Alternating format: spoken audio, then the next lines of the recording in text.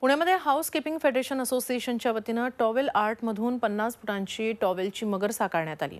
जवळपास लहान मोठ्या आठशे टॉवेलपासून या मगरीची प्रतिकृती साकारण्यात आली आहे. त्यामुळे या बलाढ्य टॉवेल मगरीची नोंद इंडिया बुक्स ऑफ रेकॉर्डमध्ये घेण्यात आली आहे. निमित्त होतं हॉटेल व्यवस्थापन सेमिनाराचं.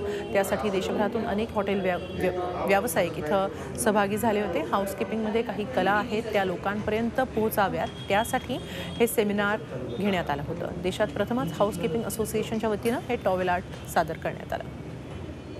एकतर नेटवर्किंग की where housekeeping will have all the housekeepers will have a platform and also हे टावेल आर्ट जे हाऊसकीपिंगची हाऊसकीपरची कला आहे ती आम्ही सगळ्यांसमोर आणण्याचा प्रयत्न करतो आहे की आम्ही अजून काय काय करू शकतो. आयफाला पाच वर्ष झाली.